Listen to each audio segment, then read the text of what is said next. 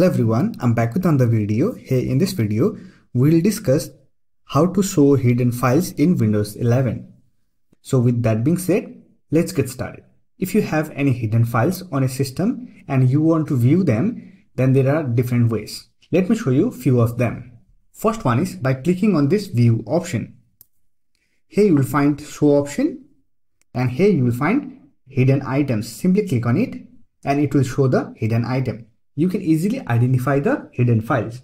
So these translucent files are hidden.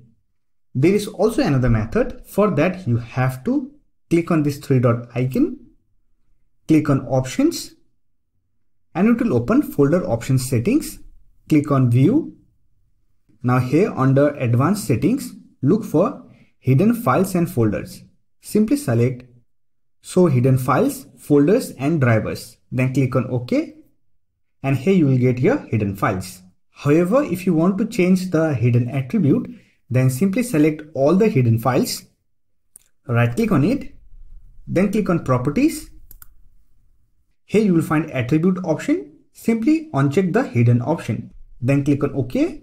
Similarly, you can also use this method to hide files.